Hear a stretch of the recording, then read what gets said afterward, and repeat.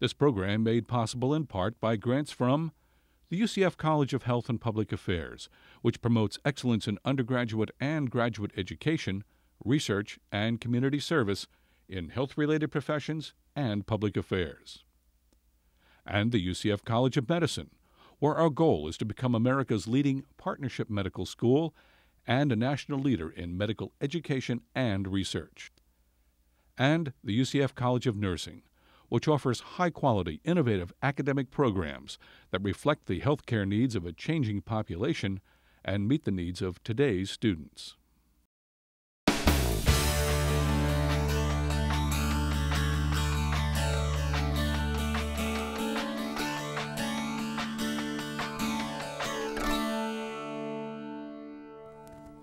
Hello, everyone. Welcome to For Your Health. I'm Ed Heiland. And I'm Charna Davis Wiese. On today's show, the fashion world is in an uproar over an Italian designer's use of an anorexic actress on a billboard.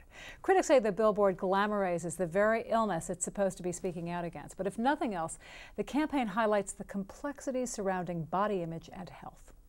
I'm Alicia Callanan Mandigo. School populations draw from all segments of society, so that's where social workers can have their biggest impact. I'll have that story.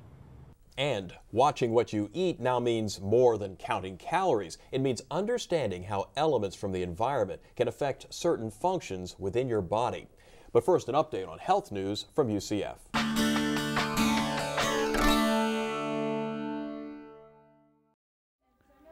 A new UCF study says that by integrating medical websites into nursing homes, staff can respond more effectively to their patients' needs. In a time when most states lack necessary funding for nursing care facilities, eHealth resources will give nurses greater access to important medical information and allow for better patient care. This study was published by researchers from the Public Affairs Doctoral Program. Even in their first semester, UCF nursing students get to interact with people, particularly children, in community based clinics. It pays off. Recently, the grandmother of a middle school student reported her grandson was able to prevent an asthma attack because UCF nursing students had taught him new breathing methods. Through these community nursing coalitions, UCF nursing students really learn and give back in real world settings. Several UCF programs are among the top 100 university programs in the nation, according to U.S. News and World Report. For example, the College of Health and Public Affairs' Speech Language Pathology program ranked number 87. Three recent UCF cardiopulmonary sciences graduates have been selected for coveted 24 month internships in pediatric respiratory care at Duke Medical Center. Only five slots were available, and three of them were filled by UCF graduates Angela Gutierrez, Van Leeuwark, and Christine Kearney. And a final note Karen Guin, Director of Communications of College and Health and Public Affairs, and who often reports for these updates, has been named COPA's A&P Employee of the Year. All of us at For Your Health extend our congratulations. This is Jerry Klein, For Your Health.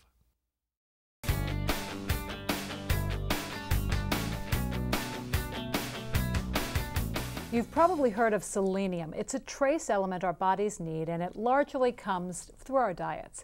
But as Alicia Callanan Mandigo found out, researchers are discovering new ways in which selenium acts within our bodies. This University of Central Florida lab is working like labs all over the world to unlock one of the greatest cancer mysteries, and that is how things in our bodies and things in the environment interact. In this particular case, researchers are looking at the interaction between the trace mineral selenium and arsenic. Well, the project uh, that we're discussing today is one which is um, focused on a hypothesis that exposure to arsenic and arsenic containing compounds in the environment leads to a decrease in our selenium nutrition or the status of selenium in, in tissues. So uh, the basis of it is, is that if you're exposed to arsenic in higher concentrations, then at the cellular level you're not getting the enough selenium. Selenium is important for fighting off oxidative damage and oxidative stress. So basically the hypothesis we have and others, others around the world are, are also testing is that your exposure to arsenic reduces selenium levels, then that's going to lead to oxidative damage, which then in turn can lead to cancer, neurodegenerative diseases, and other diseases And these diseases are known to be associated with exposure to arsenic. Why that's important is we don't know how arsenic does what it does in terms of exposure and, and the downstream uh, diseases. This research may sound a bit esoteric, but it's really not. Selenium comes to us through our diets. Arsenic exposure, well, that can come from just about anywhere. Studies on selenium are relatively new, with the first studies coming out only 30 years ago. New information on what role selenium plays is still unfolding.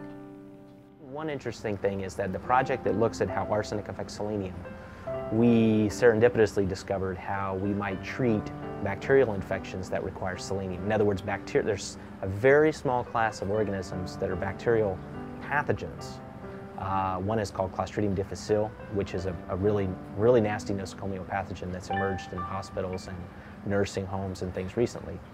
And we've discovered and published one paper in my lab that it requires selenium for growth. So since it's a very small group of bacterial pathogens that have this, this really interesting uh, biochemistry pathway, uh, we've actually found some novel uh, chemicals, some of them even drugs that are used in the clinic now that can block the growth of this pathogen. That finding came from a gut feeling Dr. Self decided to follow, and that kind of instinct and discovery may someday answer the questions regarding arsenic, selenium, and cancer, which would bring hope to millions worldwide. I'm Alicia Callanan Mandigo for your health.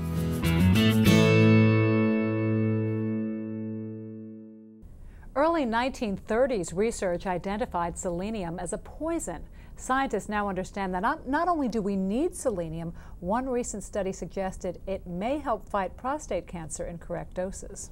Well, media images of fashion models have so distorted body image for young women that an Italian fashion designer recently featured an anorexic model to call attention to just how severe that distortion is. The billboard is frankly shocking and was meant to be sobering, but some critics say instead it's glamorized anorexia even more.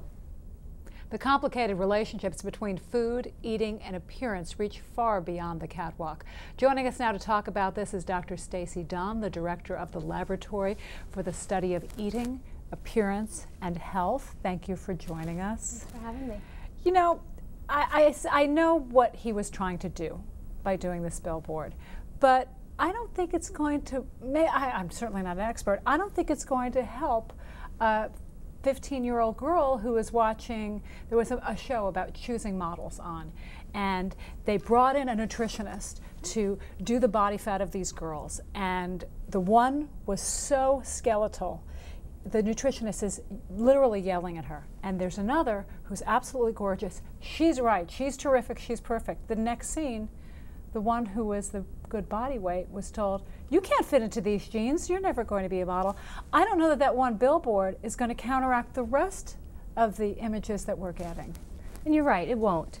But the media has been under fire for so long now, responsible for showing so many images that make young girls feel that thinness is the only thing worth pursuit, that in order to be considered attractive, you have to be really underweight. It's not just thin now, it's those models are typically underweight and their body mass index indicates that they are not healthy. So they've put out so many images for which they've been criticized heavily that the idea of using the media power for good to try to send messages that it is not a healthy lifestyle, I think they, they are trying to do the right thing, using the same influence that they've been criticized for for trying to do something positive for young women all over the country. It's just they have so much to fight against. Yeah, I mean, if you look so at how many images, side. exactly, and on, on the images where they'll show this is a person who's too thin and, and they, they're struggling with an eating disorder, for young girls who are already struggling, they're actually role models. They look at that and it sort of triggers their eating disorder to say, oh, wait, I'm not that thin. They're not paying attention to the content, they're reacting to the image, which to us is shocking and negative, but to someone who's already in the throes of an eating disorder, they don't see it the way we do. Now, how's the laboratory going to help this, uh, this, this, situation, which, which seems to, as we're just discussing here, it goes from one end to the other, and there doesn't seem to be a happy medium, which is treating and, and helping individuals who are suffering with eating disorders and body image disorders. Right.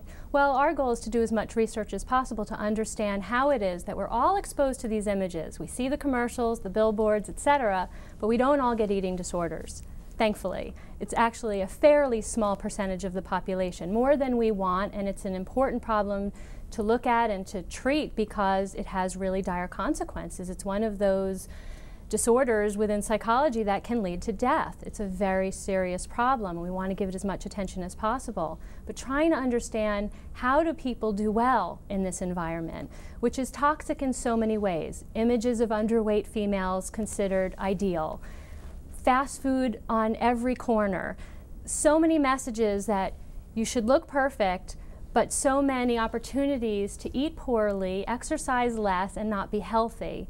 And so trying to understand what keeps people doing well in this kind of environment is really important to us. And understanding what the effects are of the media, of familial relationships, what mom or dad says or does, or siblings, and looking at so many variables that influence what happens during those years when girls stop feeling like they're just the greatest, they're on top of the world, and start becoming very self conscious and very concerned about how they look. How about heredity? How, about, how much a role does that play?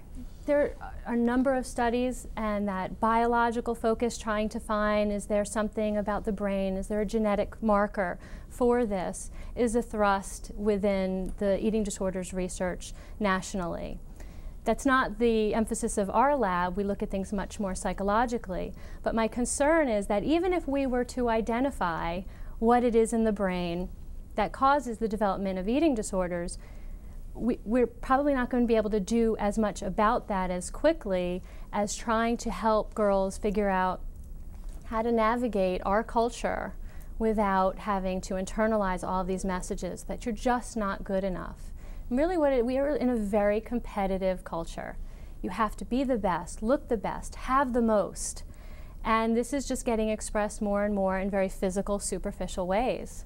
And so, trying to bolster self esteem at a young age trying to get parents to model healthy behavior, which includes self acceptance. It's one thing for us to sit our little girls down and say, It's okay, you should feel really good about yourself, and then turn away and say, Boy, do I look fat in this. Mm-hmm.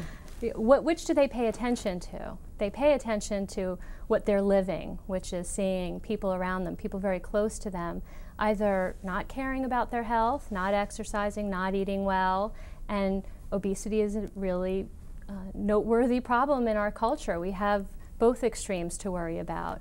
But our culture is so anti fat that we're taking all of these measures to prevent childhood obesity, potentially at the expense of preventing eating disorders. And so we have to really focus on health, teaching children and adults, it's never too late to learn, to really value how your body feels and what it does.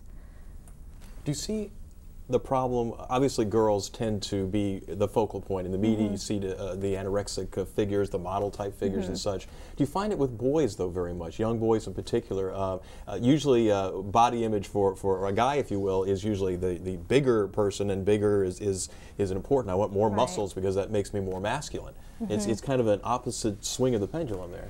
It's, the issues are different but they are also important because for boys who are unsatisfied with how they look, they're not as likely to want to starve themselves to meet a thin ideal, but to get as muscular and well defined as the ideals that they hold up and, and value, they sometimes want to take steroids and they become obsessed with exercise and they do unhealthy things as well. So the consequences are different and their issues are different, but we are finding that when we look specifically at boys and men and ask them the kind of questions that are relevant to them, they're also dissatisfied with their appearance, different aspects of it. So a very common trigger, if you will, but just manifested in different ways depending on the gender.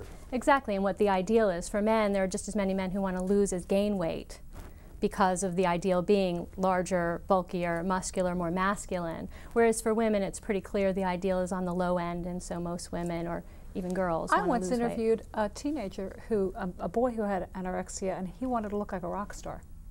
How mm -hmm. thin they are, and mm -hmm. it mm-hmm. was it was it was quite unusual. Looking at the Mick Jaggers or uh, mm -hmm. some of the other folks who it are is. more popular mm-hmm. these days are about this big around. Mm-hmm.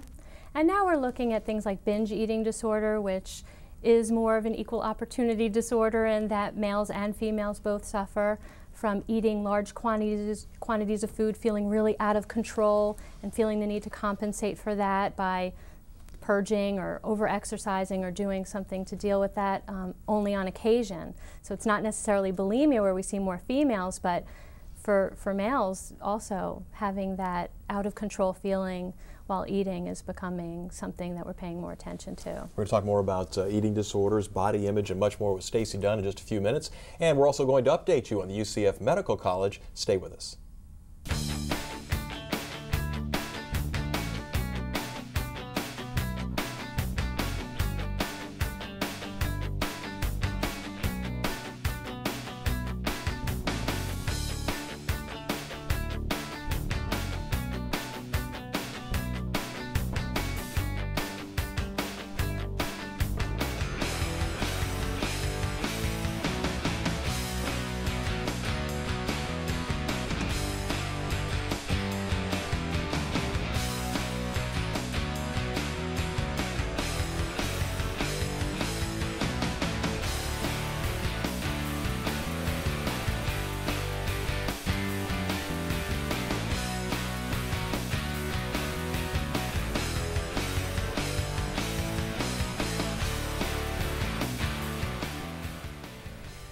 And we're here once again talking with uh, Dr. Stacey Dunn about uh, body image, eating disorders, and uh, we were talking a little bit during the break about video games. I like to play video games, and you don't think about it too much sometimes when you're out there playing, but the characters in those video games have very distinctive body images, and outside of the, the grotesque ones, the monsters and the creatures you're trying to get after sometimes, uh, the women have a certain image, the men have a certain, you know, usually they're large and muscular and that type of thing. Are, you know, what kind of message are we sending to, to boys probably in particular because they're the, the, the, video game fanatics these days. Like the old comic books yeah. almost. Exactly, and we think so much about print ads and television, but we've become interested in our laboratory in looking at video games, just like you're saying. What do those images have in terms of impact on what they think people should look like or how they feel about themselves. And uh, one of my students, Betsy Watt, completed her thesis looking at this. And so far, the good news is it doesn't seem to translate into real life in that they don't judge women a whole lot differently uh, than people who don't play as many video games. We were shocked at how we did a uh, sample with UCF undergraduate males and they are playing a lot of video games. oh, surprise! And so, right, well, it's like a full-time job when you add up the, the hours. And so we thought it's really important to look at what they're spending all of this time with. Is it having an impact? And we found that when the guys really compare themselves to the characters, the male characters in the games, that's when they're more likely to have dissatisfaction with their own appearance. But in terms of judging women, the the images that they show in those video games are so unrealistic with real, what we'd call um, waist to hip ratios, where they're really big on top and really tiny in the middle, and then that hourglass But isn't that gone the Playboy extreme. syndrome? At least it was it, at one time. It is, it's perhaps right. changed now. It, it is, but when we look at uh, ideals, we're typically using these scales that really show thinness or heaviness. We don't have these highly sexualized images to have them rate, and so we might need to develop new ways of measuring things like what, what are your ideals and how does that impact how you treat people in the real world. How about the music videos? same, same issue. They keep showing females in a highly sexualized, mm -hmm. unrealistic manner. And the more we continue to buy all that kind of media or buy into it, it, it gets supported. What about the publicity that is given uh, in a positive sense to the, there's the food pyramid, which is much discussed. And then on the other side of the spectrum, there's things like uh, vegetarianism, people getting away from meats and, and from mm -hmm. going toward more of the natural foods and this. At least there's a lot of discussion of it. Are, are we have, is, is, there a positive impact? Are you seeing any of that in your research where people are starting to pick up on some of that mm -hmm. and, and really translate into something that's, that's healthy? Well, in our work on vegetarianism, what we were interested in finding out was, are people using vegetarianism, I'm a vegetarian, as a way of having a socially acceptable way of rejecting food? So it's not that I'm philosophically against eating beef, it's that that has so many calories and lots of fat. And so to come home and pro proclaim to a parent, I'm a vegetarian, might have been a way just to say, I don't want to share the reasons why I'm Xing out all of these foods off my list. Uh, but what we have found is that in previous research, they used to say people who were vegetarians were higher in eating disorder symptoms. But it's because of the way the questions are asked. If you say there are certain foods I won't eat, that goes toward, up, oh, that's a symptom of an eating disorder. But what we're finding is that there are vegetarians who eat well and they're not underweight and they don't value thinness to an extreme, they just prefer not to consume meat I've products. known some vegetarians who can lose a few pounds actually. So yes, right. So uh, we're, we're not finding that, but there are times, and, and I think that is one of the warning signs, especially when a young person starts to say, "I don't want to eat meat or anything else," to make sure that you understand what that's about.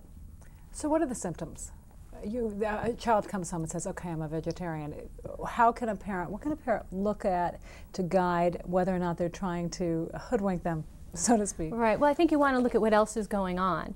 If they say, I'm a vegetarian and I'm for world peace, and they're doing all these other things as they become more socially conscious, that's a different scenario than you see that they're starting to lose weight or they're becoming very self conscious about their appearance, starting to cover up more, become really concerned about aspects of their physical appearance that are beyond what we would expect developmentally for any middle schooler who recognizes, oh, wait, there are people of the opposite sex looking at me, I need to worry about how I come across, but that they're really shutting down from that process. Usually, when an eating disorder develops, there's a lot of social withdrawal and not wanting to be dating or putting themselves out there socially, but to really start exercising a lot more and expressing concern about their appearance and their weight.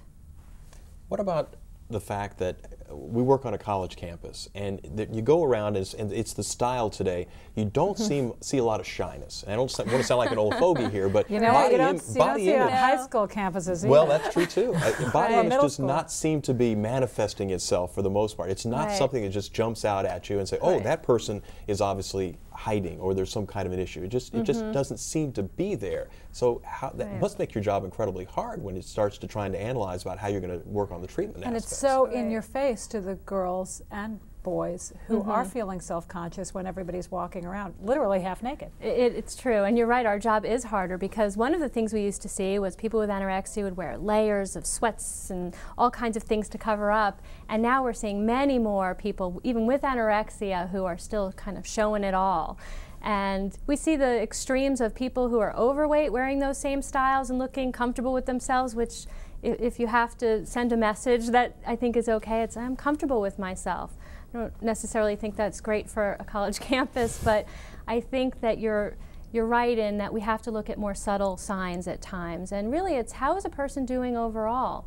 There are times, for example, when you first start college where there's so much stress that you find the one thing that you can latch onto where you still feel some sense of control. And so you start monitoring what you're eating and how many calories. And in terms of bulimia, they call it a social contagion, where female groups of students might get to know each other's tricks and really be supportive of fairly unhealthy behavior. Dr. Stacey Dunn, so much to talk about. We'll have to have you back sometime. We appreciate it so much. Thank you. Thanks for joining us. Well, there are lots of changes and new plans for the UCF College of Medicine coming to our Lake Nona campus in 2009. Here's a look.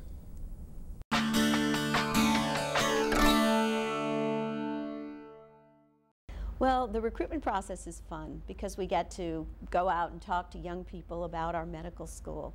And it's actually already started. Our director of admissions is going out to colleges and universities in Florida and some around the country, and students are showing up in record numbers uh, to hear about our program and learn about the process. And the process for application to medical school is the same for all schools. It's a national process. It's online. It opened in June, and students go online and they fill out an application, and then they simply check the boxes of all the schools they want, and the application goes to all of those schools. And then once they arrive at the schools, the schools have what we call secondary applications. So there may be some specific questions we want to ask our students that they receive, and then they respond to that. So um, it's wonderful to, to see the little UCF box lined up with all the other schools. And our scholarship program has been an incredible draw. The average debt in 2007 for a graduating medical student was, was $140,000, which means that there are many students graduating with debt in excess of 200,000. And our scholarship program will provide tuition and living expenses. So if a student lives the way most students do, they should have no debt from medical school if they come to UCF. And if you think about starting your life with 150 to 200,000 dollars of debt versus without that debt. It's a huge draw, and um, we hope that our program will be an equal draw. We expect to get a large number of applicants. Uh, uh, we, we could have somewhere between uh, two and 4,000 applicants for the 40 spots in our class.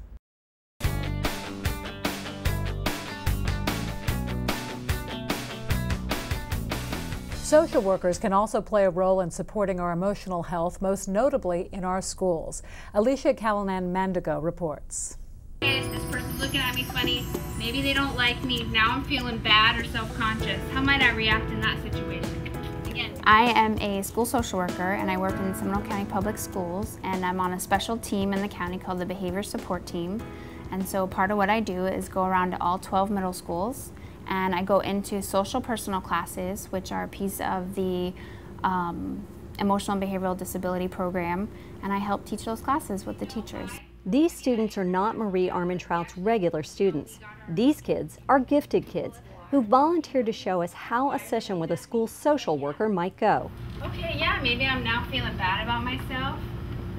These students make it look easy, but working with truly emotionally disabled students can make for some tough days. I think um, you have to remind yourself where these kids are coming from and not take it personally. And you really have to be committed to every day is a new day, every day is a fresh start for these kids. After completing her master's in social work at the University of Central Florida, Armentrout seized upon a job opening within Seminole County schools. The students she works with lack social skills. They have poor judgment and often come from difficult backgrounds. For those kids, school social workers play a critical role. Nationwide, they have the worst outcomes than any other students that are any other disability or, or exceptional ed category, speech language impaired, specific learning disability, educably mentally disabled. Um, they have the worst outcomes. They have the worst graduation rates.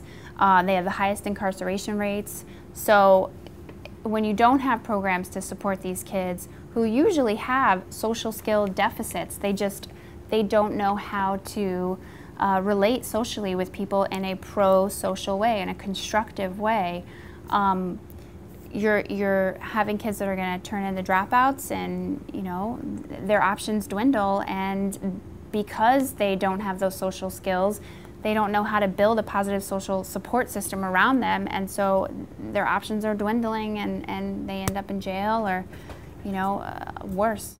Seminole County would actually like to expand its use of social workers, so they would have more social workers visiting fewer schools.